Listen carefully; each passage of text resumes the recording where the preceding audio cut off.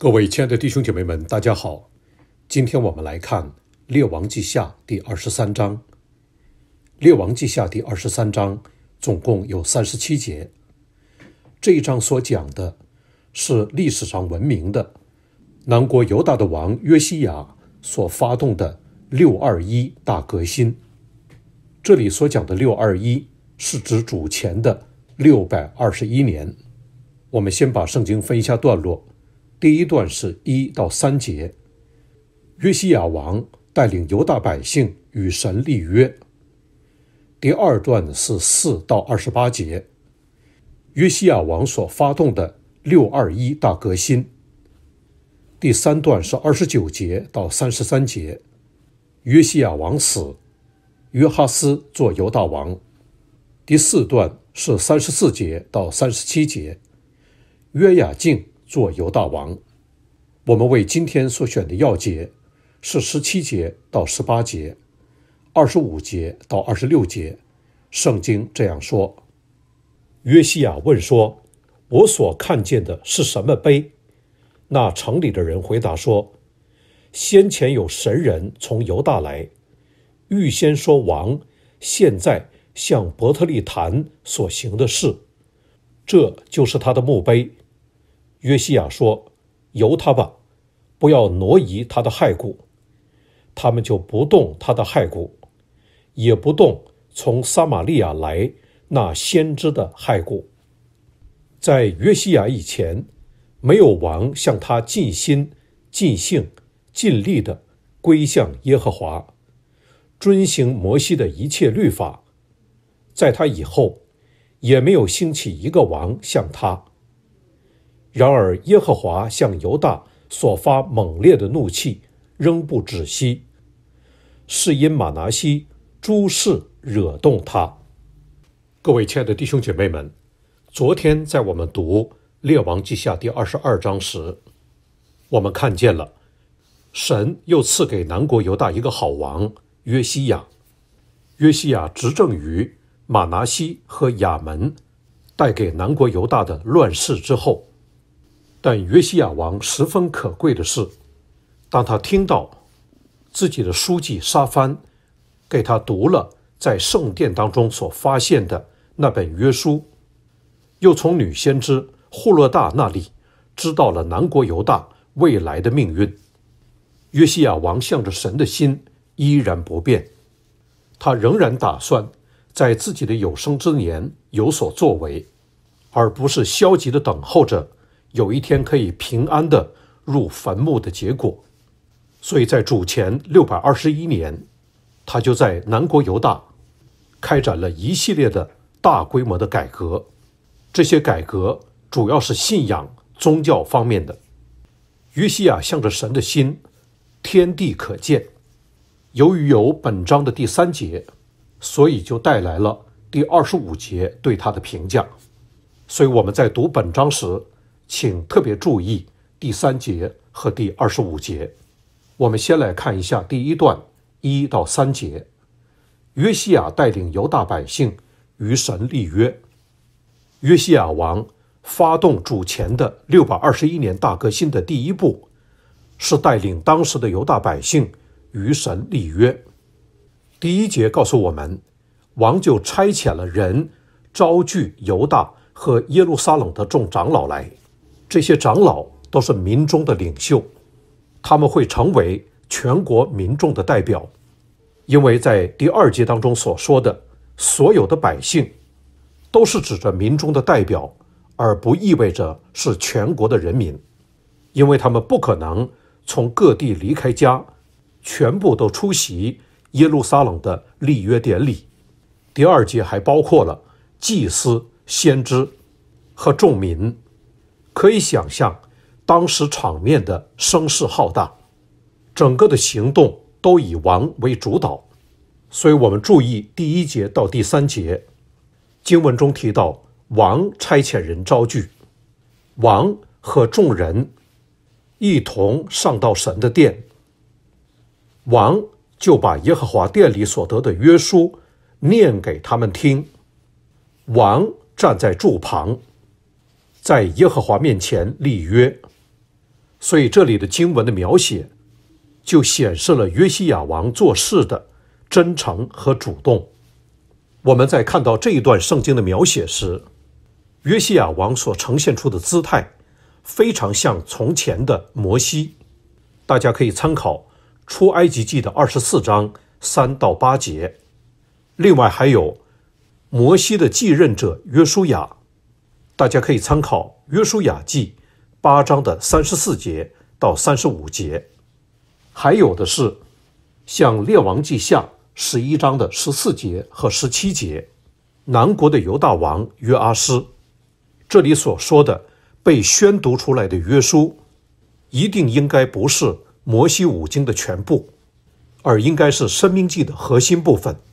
据我们今天猜，应该就是那些因顺服神而得祝福，或是因违背神而受惩罚的经文部分。大家可以参考《生命记》二十七章十七节到二十八章的六十八节。圣经当中描述。约西亚王站在向来王所站的圣殿的柱旁，那柱，也就是圣殿里面的波阿斯和雅金那两根柱。这柱乃是代表着神赐给他君王的权柄。约西亚王带领百姓，一是与神立约，然后君王又和百姓立约。立约的重点在于。要坚守摩西带领以色列百姓与神在西乃山上所立的约，其关键点在于神在地上的子民要一心一意地实行神的话，也就是神在约中所规定的内容。这约中的内容要人去尽心尽性地顺从耶和华，而且不可以在某些方面有偏废、有取舍。乃是要遵守他的诫命、法度、律例，成就这书上所记的约言。在当时浩大的场面中，经文中说，众民都服从这约。我们得肯定，约西亚王在立约过程中一定是极为忠诚的。但与他在一起的会众，心中、生命中和灵里。真正向神委身的程度，那就不好说了。但总而言之，神是鉴察人心的神，神知道约西亚向着他忠心，于是约西亚王做这一切。虽然实际上在历史上的果效可能很有限，但是神都悦纳，神也都纪念。我们同时也相信，正是因为约西亚。向着神忠心的缘故，神就将那临到南国犹大的掳掠延迟了不短的时间。因此，我们在第一节到第三节所看见的，是约西亚王所发动的六二一大革新的第一个步骤。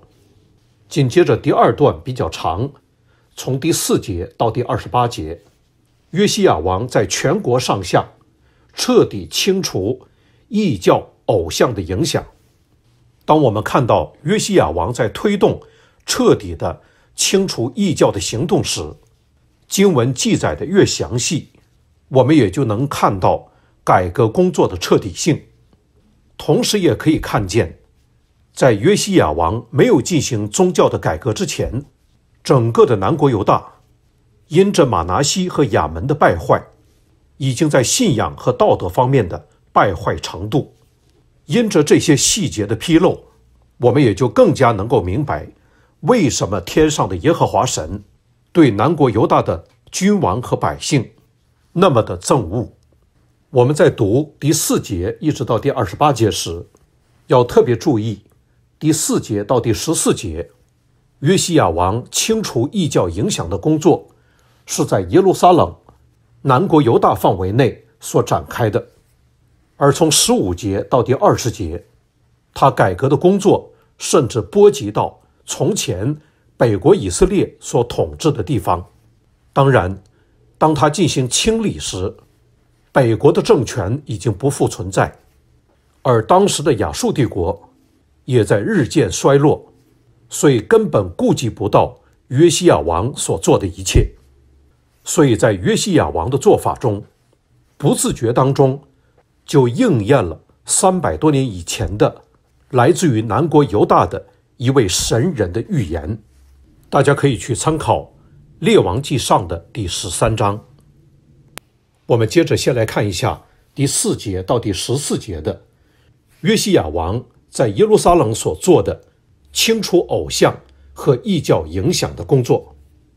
这一部分经文描述的细节非常详细，像第四节所讲的，就是王吩咐大祭司希勒家和副祭司以及把门的，将那为巴利和亚舍拉，并天上万象。所造的器皿，都从耶和华殿里搬出来，在耶路撒冷外吉伦西旁的田间烧了，把灰拿到伯特利去。这是第一样。第二件事，从前犹大列王所立拜偶像的祭司，他们是在犹大城邑的秋坛和耶路撒冷的周围烧香。现在王废去了他们的职能。并且又废去了向巴利和日月行星，并天上万象烧香的人。经文中提到，将这些异教的神职人员的工作废去，这就等于一切在向耶和华神敬拜以外的宗教活动，通通被废止。第三件，这是第六节所说的，又从耶和华殿里将亚舍拉。搬到耶路撒冷外吉伦西边焚烧，打碎成灰，将灰撒在平民的坟上。我们知道亚舍拉原来是巴利宗教当中的一个偶像，亚舍拉被认为是一个女神，她后来被犹大人放在耶和华的殿里。圣经学者告诉我们，犹大人认为亚舍拉是耶和华神的妻子，所以圣经的经文。就习惯于将亚舍拉这一木偶称之为惹动祭邪的，大家可以参考以西结书第八章第五节。亚舍拉的偶像通常被放在祭坛门的北边。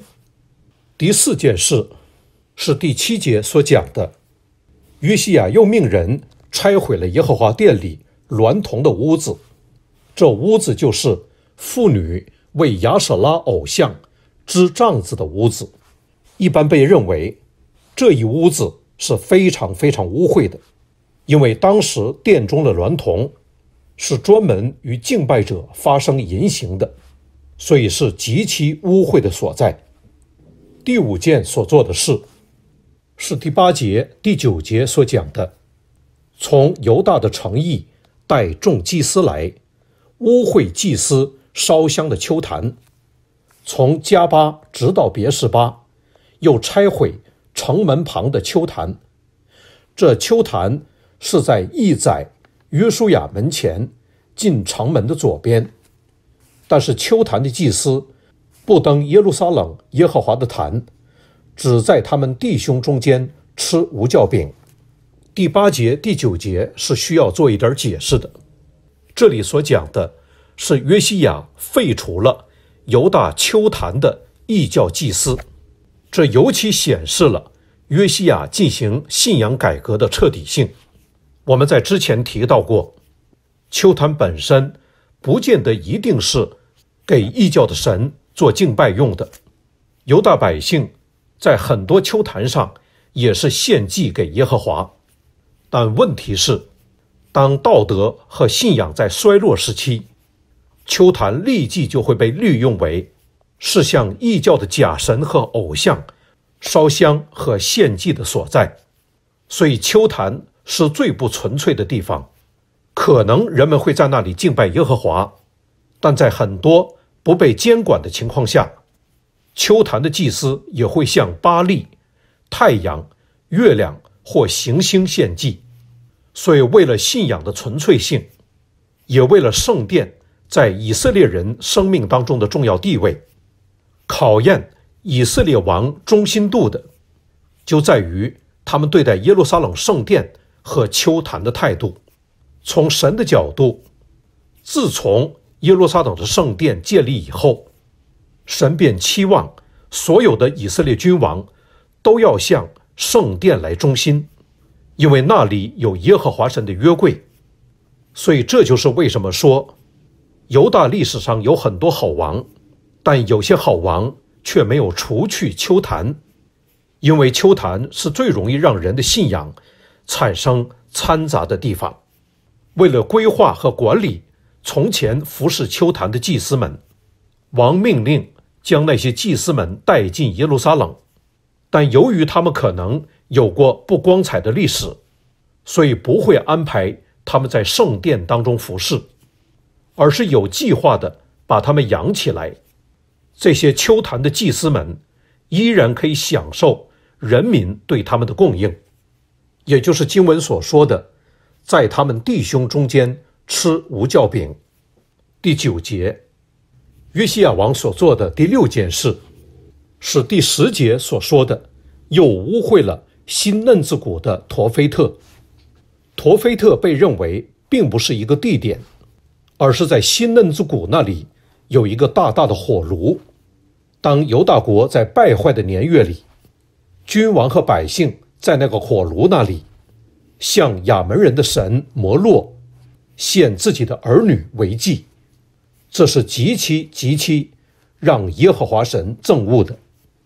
第七件所做的事，是又将犹大列王在耶和华殿门旁太监拿丹米勒靠近游廊的屋子，向日头所献的马废去，且用火焚烧日车。这是第十一节的经文所讲的，约西亚王所做的第八件事，是十二节中说，犹大列王在亚哈斯楼顶上所筑的坛，和马拿西在耶和华殿两院中所筑的坛，王都拆毁打碎了，就把灰倒在吉伦西中。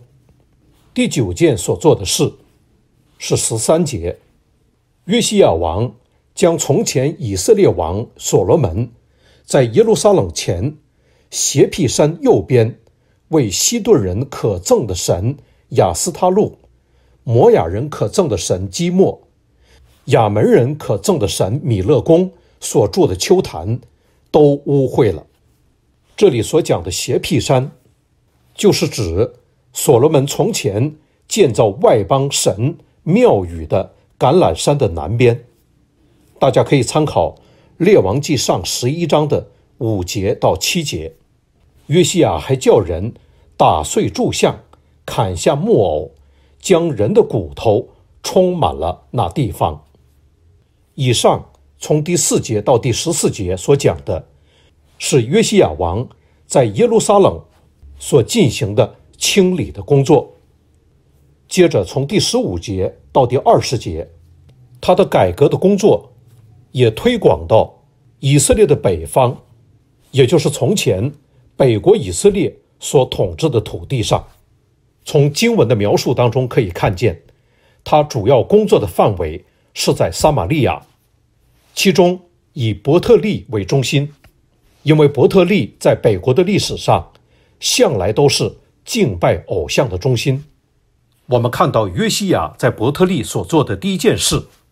就是十五节所说的，他将伯特利的坛，就是叫以色列人陷在罪里，尼巴的儿子耶路伯安所住的那坛，都拆毁焚烧，打碎成灰，并焚烧了亚舍拉。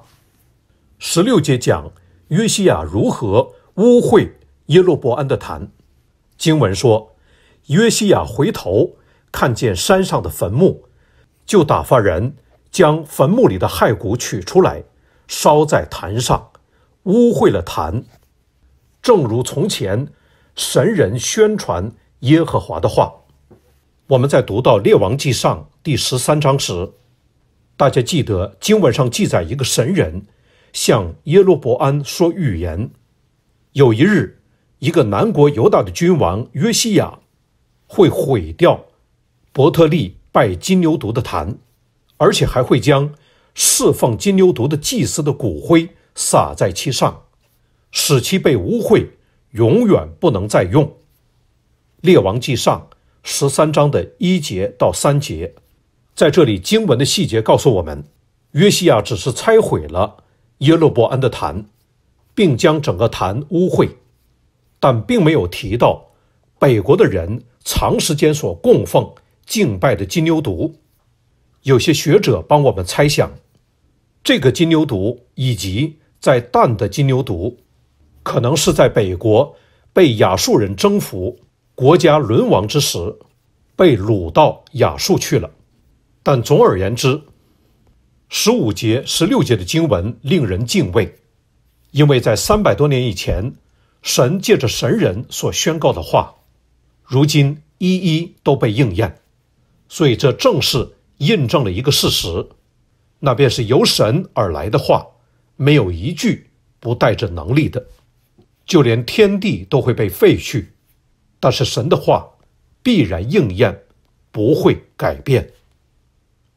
十七节和十八节，圣经的经文有意的告诉我们一个故事情节。经文说：“约西亚问说，我所看见的是什么碑？”那城里的人回答说：“先前有神人从犹大来，预先说王现在向伯特利坛所行的事，这就是他的墓碑。”约西亚说：“由他吧，不要挪移他的骸骨。”他们就不动他的骸骨，也不动从撒玛利亚来那先知的骸骨。这两节圣经令我们回想起。列王记上十三章所记载的神人和那欺哄他的老先知的故事，神人的骸骨一直埋在那里，墓碑也一直存在，都在无声地诉说一件事，那便是临到耶路伯安的审判必然来到。经文中提到撒玛利亚来那先知的骸骨，这里撒玛利亚的意思是指从前的北国。因为那个哄骗神人的老先知是从伯特利来，当时撒玛利亚城还没有被建造。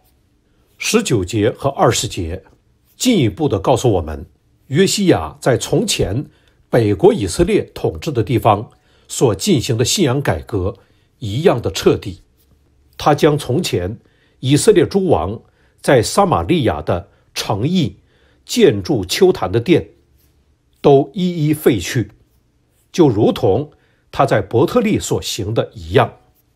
他在北国的土地上另外做的一件事，是将那些在秋坛上的祭司都杀在坛上，并在坛上烧人的骨头。做完清洁的工作，就回耶路撒冷去了。我们注意到第八节、第九节的经文提到约西亚对待那些。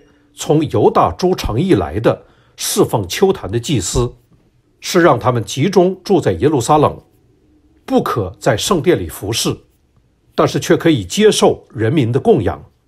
可是撒玛利亚的祭司们却都被杀在坛上，这是什么原因呢？主要的原因是，这些在撒玛利亚服侍秋坛的祭司，根本都不是利未人，甚至连普通的。从前的以色列人都不是，他们不过是在主前七百二十二年，亚述灭了北国以后，从外邦的国家而来的，专门侍奉假神和偶像的异教神职人员。所以约西亚区别对待，是合乎圣经真理的。在第二大段中，约西亚所做的另外一个重要的改革，就是吩咐以色列百姓。严守逾越节，这就是从二十一节到二十三节所说的。在我们今天看来，逾越节不过是古代以色列人每一年很平常的一个信仰节日，但其实不然。约西亚王带着当时的以色列百姓，在神的面前守逾越节，得到了圣经的作者们非常高的评价。第二十二节说。自从士师治理以色列人和以色列王犹大王的时候，直到如今，实在没有守这样的逾越节。这里的意思是讲，自从士师时代开始到如今，以色列人无论在北国或南国，都未曾像约西亚这样严格遵循律法的规定守逾越节。按照历代之下三十五章的记载，当时约西亚在守逾越节的时候，所有献祭的祭牲完全由立位人来宰杀，所以约西亚王对神律法中律例和规条的细节的遵守都一丝不苟，因此得到神和先知们的大大的夸赞。所以二十三节说，那么长的历史中。只有约西亚王十八年，在耶路撒冷向耶和华守着逾越节，最符合律法的要求。二十四节提到了，当时在约西亚治理之下的犹大国，异教和假神的信仰被铲除的程度。经文说，凡犹大国和耶路撒冷所有交鬼的、行巫术的、与家中的神像和偶像。并一切可憎之物，约西亚尽都除掉，成就了祭司希勒家在耶和华殿里所得律法书上所写的话。从这节圣经当中可以看见，从前约西亚王的祖父马拿西所留下的罪，都被约西亚一一清除。像二十一章第六节经文就说。马拿西曾经使他的儿子金火，又关照用法术立交鬼的和行巫术的，多行耶和华眼中看为恶的事，惹动他的怒气。现如今这一切的邪恶，都被马拿西的孙子约西亚尽都清除。因此，在二十五节当中，圣经给了约西亚最公正的评价。由于二十五节经文的说法，让我们最终会有一个困难的判断，那就是究竟在西西家王和约西亚之间，究竟他们当中哪一个是最好的？我们曾说西西家王是最好的，但是读到了第二十五节，我们又会觉得弄不好可能是约西亚王是最好的，因为这里经文说，在约西亚以前。没有王向他尽心尽性尽力的归向耶和华，遵行摩西的一切律法，在他以后也没有兴起一个王像他。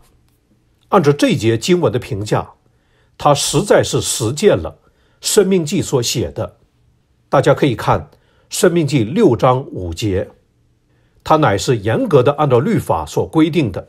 不单单敬畏神、顺从神，还尽心、尽性、尽力的爱耶和华。所以圣经说，在他以前和在他以后，没有一个王像他的。他乃是最为理想的一个君王。类似这样的赞誉，也曾经被加在西西家王的身上。大家可以参考《列王记下》十八章第五节。从总的角度上来讲，我们的确可以看出约西亚王是一位理想的君王，因为在国家的政策上，他坚定地遵守摩西的律法，而且若是把他跟西西家王比较一下，那在对待南国犹大未来的结局方面，西西家王表现的比较自私，比如当以赛亚责备他不应该将自己国家的财富。给巴比伦的使者们看，因为有一天这些财富都会被仇敌掳去。但是西西家王却表示，只要这一切不发生在他统治的年间，那就好了。我们说过，这显得很自私。当我们看见，当户勒大预言约西亚会平平安安地归到列祖的坟墓，约西亚从来没有为此。沾沾自喜，所以，若是总的概括约西亚王的一生，他没有犯过一件重大的罪，可以说约西亚王一生的记录非常的清白。我们若是对他的要求严格一些，只能说有一件事情令我们遗憾，他没有能培养出好的儿子们，以至于这些儿子们可以成为犹大历史上好的君王。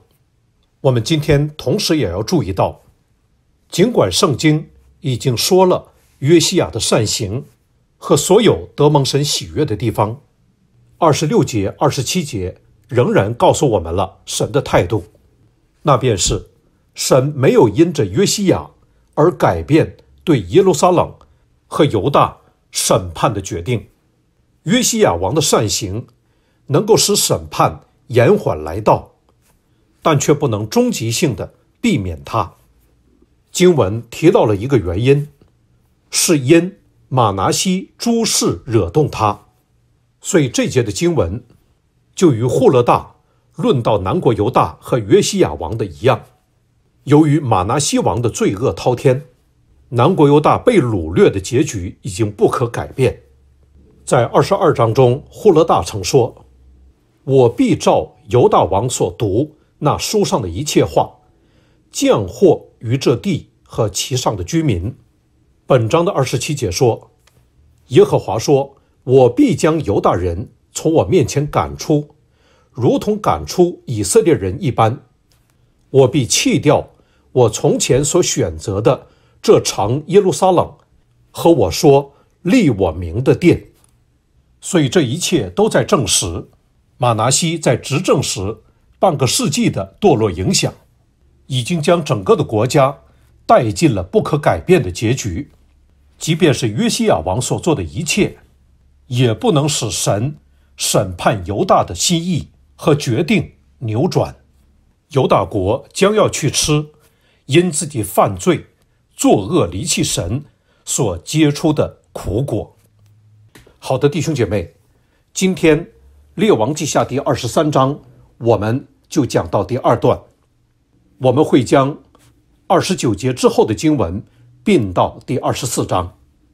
大家今天在读本章的第一节到第二十八节时，请细心的注意约西亚王所做的。三个重要的方面，那就是一，他带着犹大国民在神的面前立约；二，他在南国，包括北国从前所统治的地方，全面彻底的清除异教和偶像的影响；三，他带领整个的国民在神的面前严守逾越节。好的，弟兄姐妹们，愿我们每一天。都带着喜乐和充足的信心来到主面前。我们真是愿意在如今这个时代，神能兴起更多像约西亚的人，能够尽心、尽性、尽力的归向耶和华，爱我们的主，并且全心全力的在圣灵的帮助之下，遵守神在圣经上给我们的话。若我们的生命能够如此，神就必会。像喜悦约西亚那样喜悦我们，但愿你和我今天都能专心的倚靠他，敬畏他，并热爱他。爱你们。